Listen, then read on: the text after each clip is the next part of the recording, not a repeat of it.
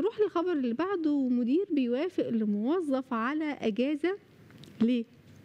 تخيلوا المدير وافق له على أجازة عشان إيه؟ علشان يتفرج على سبايدر مان في السينما. نشوف التفاصيل مع بعض.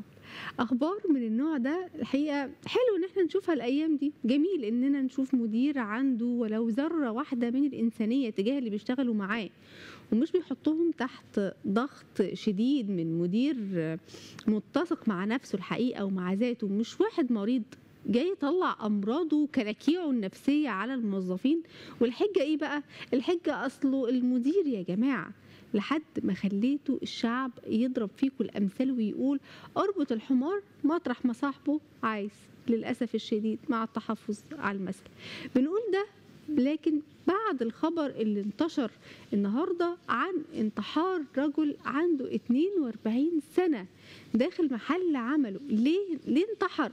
علشان مديره للأسف المجرم المريض نفسيا خصم منه حوافز قال إيه السبب؟ علشان بيروح الحمام كتير.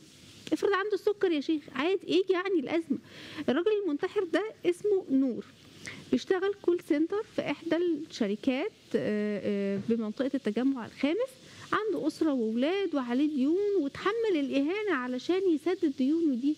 ولما فاض بيه من مديره المجرم ده هو انتحر. مش مش سبب طبعا ما نقدرش نقول إن ده مبرر للانتحار لكن هنقول حسبنا الله ونعم الوكيل في كل مدير مجرم ما عندوش رحمة ولا ذرة إنسانية. حسبنا الله ونعم الوكيل في كل مدير جاحد بيضغط على الناس وبيستغل حاجتهم وعزتهم للفلوس. عارف إنه مديون وعارف إنه عنده ولاد وفي رقبتكم لحم زي ما بيقولوا.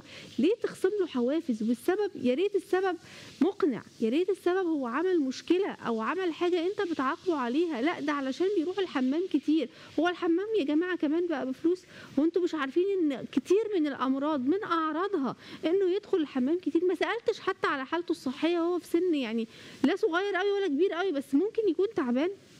أنا مش عارفة أنت ضميرك فيه إيه ومش عارفة أنت قادر تنام إزاي. طيب نروح